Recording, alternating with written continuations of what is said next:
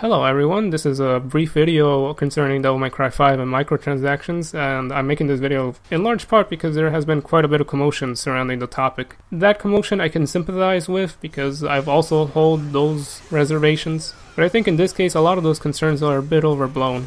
I suppose I'll start off with my general opinions about microtransactions and DLC. I've never really bought DLC in my life, and that's in part because I don't always have the money for that kind of stuff, but also because a lot of DLC practices are kind of shady. I am mostly against DLC that is made of and conceived of before the game's release, because it seems like you took the full game and then you just took a little slice off that game and put that up in a store. There's something icky about that, but when it is made of and conceived of after the game's release, I'm, I'm completely fine with that because it's just more content that is added after the game, and I don't think that that content should necessarily be free. I do think that they should try to make an effort to make it free, such as maybe additional skins or anything like that. That sort of stuff is fine, but I guess when it comes to something that is significantly difficult to make, such as extra levels, extra characters, moves, whatever, that sort of stuff, um, yeah, I think that people should pay for that.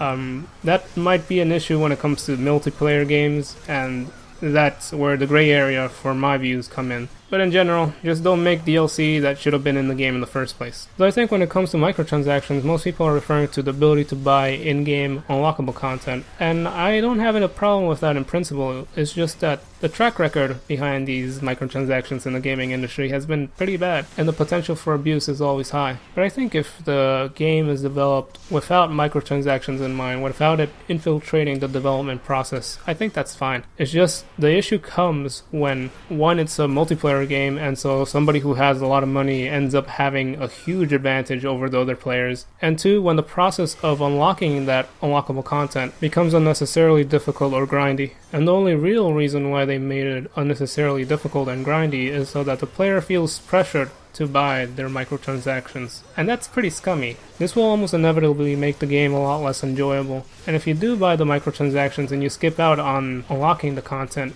and if a large part of the game is the journey and not the reward, then you kind of defeated the purpose of the game. Now obviously this doesn't apply to every game since certain games are grindy at first but once you unlock the things that you want to unlock then the real fun begins. But it still is pretty scummy as a business practice. Now where does DMC5 stand in all this? According to a few sources, Devil May Cry 5 will have microtransactions for the red orbs. If you don't know what the red orbs are, I don't know what you're doing in my channel first of all, but second of all, they're the game's currency. And you can buy a bunch of items as well as abilities with red orbs. Three years ago, this happened with Devil May Cry 4 Special Edition, and that came out pretty fine. One of the reasons it came out pretty fine is that Devil May Cry 4 Special Edition was rebalanced so that you are able to get Red Orbs and Proud Souls a lot faster than you did in the original version of Devil May Cry 4. This goes to show that just because a game has microtransactions doesn't necessarily mean that it will be needlessly grindy and difficult. In this case, it happened to be the exact opposite. I suspect that with Devil May Cry 5, it will be the same or a similar story.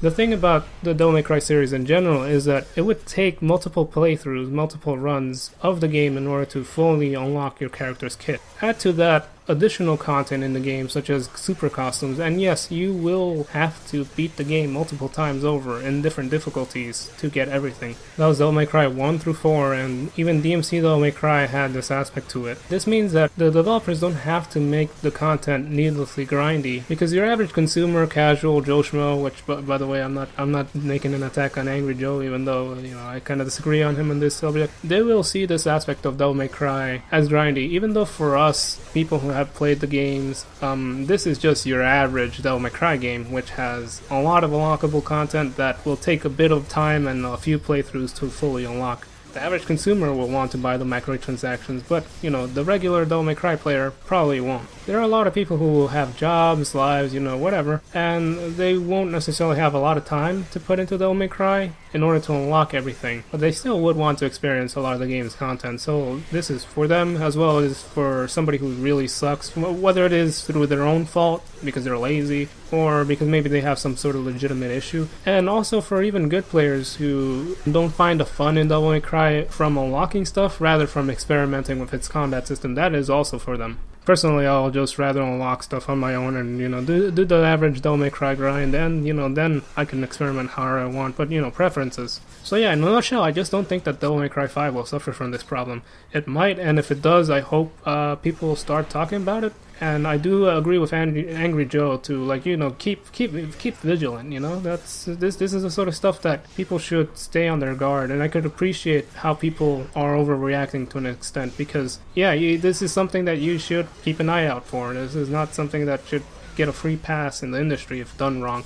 But I just don't think that Devil May Cry 5 will be that case. But if it is much more grindy than your typical Devil May Cry game, then yes, I will have a problem with it. But as far as this goes, it, it, it seems fine.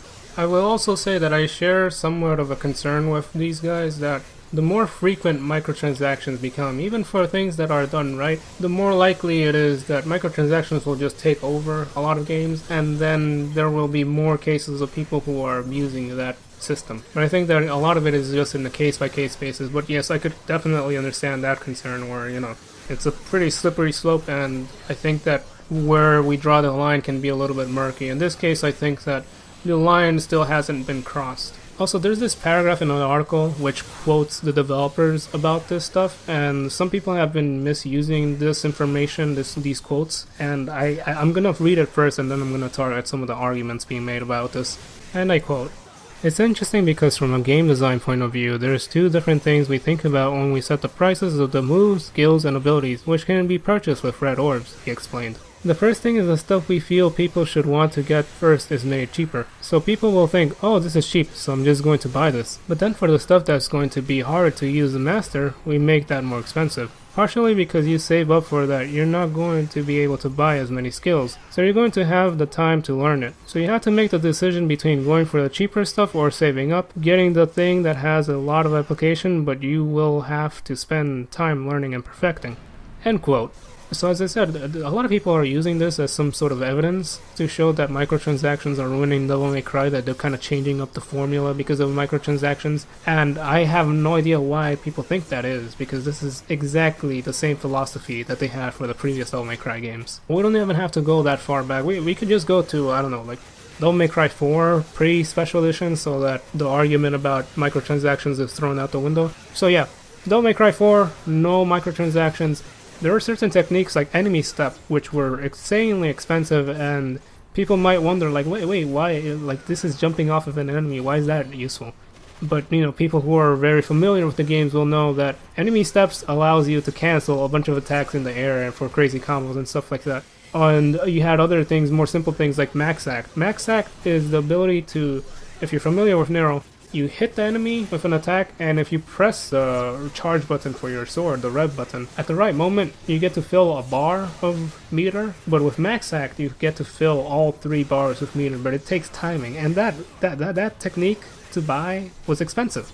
And so this is nothing new, and, and, and in Devil May Cry, when you're starting off, you should think, well, do I want to buy the easy techniques first? So that way I have a feeling of progression and I always have something new to learn? Or do I want to save up for this powerful and difficult to master technique. That was kind of the philosophy in Devil May Cry 4, and you could see that all the way back to Devil May Cry 1. So yeah, if you think that this is somehow changing the formula of Devil May Cry in a big way, you haven't played a previous Devil May Cry game, I think, or haven't been paying much attention. And I don't know how you would need to pay much attention, it seems pretty obvious. I do, however, have an issue with the Deluxe Edition, which is, I don't know how people can complain about the microtransactions, but be rather silent, most of them, about the deluxe edition. You, you see, there are four Devil Breaker arms that are new, that have completely new mechanics, because obviously you see in the, Dem- the Mega Man Devil Breaker, that has a few new abilities that you won't be seeing in the game, you won't be unlocking. You have to buy the deluxe edition in order to get this. Like bonus music that you could buy, bonus costumes, you have an extra skin for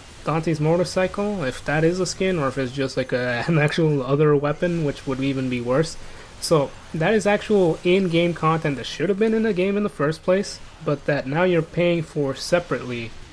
Um, yeah, where are the people complaining about that? I mean, I've, I've compl- I complained about this the moment that I saw the trailer. in fact, you could go back in my video about me just random blabbering live stream about the trailer. Um, but nobody, I mean, I even complain about this. Uh, I complain about pre-order bonuses with Devil May Cry 4 Special Edition because of how Lady and Trish were different costumes, and um, Trish's costume was Gloria. Gloria's model is in the game. It's, it's actually in the game, but somehow you have to pay in order to have that costume. Um, I don't know, guys. But yeah, I felt the need to make this video because I've seen a lot of my followers and a lot of the people I follow talk about this sort of stuff, and I decided to keep up to date and uh, watch some of the videos that they've been showing around. I watched the Angry Joe video and the Jim Sterling video. At least with Angry Joe, I could sympathize a bit with him because, again, those points that he made, I agree with them. I just think that they're kind of misplaced in this area. I do again find it interesting that some of the people who are complaining about microtransactions aren't complaining about the deluxe edition, which is objectively worse, I think. And even he, at one point in the video, he clearly saw the four double arms being put behind a paywall for no reason. Didn't complain about that, huh? I mean, I guess his heart is in the right place. Jim Sterling, on the other hand, I don't fucking trust that. You know, it's kind of ironic coming from someone who, at one point, admitted that, you know, he fueled the fire when it came to the DMC Devil May Cry controversy. Him and his whole fucking lot of people. You know, that controversy and those people who added fuel to the fire, they did way more damage to Devil May Cry than these pesky little microtransactions have ever done. So, you know, take that as you will. I'm so fucking glad I didn't waste my time on his stupid Devil May Cry, Devil May Cry retrospective because that was that was awful. Anyways, uh, thanks for watching. Uh, I like how my first DMC5 somewhat proper commentary is about this shit, but you know, just felt the random spite. Spite is a good motivator sometimes, so yeah. See y'all.